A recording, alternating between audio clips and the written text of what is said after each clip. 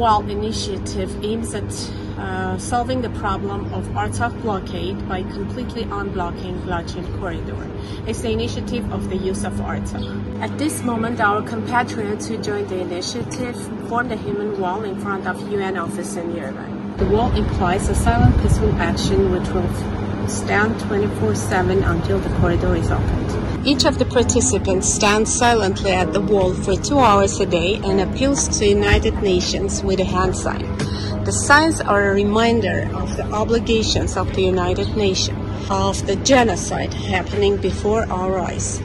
We call on our other compatriots to join and contribute to the opening of Artsakh's way of life, the Berdzor Corridor, by devoting only two hours a day.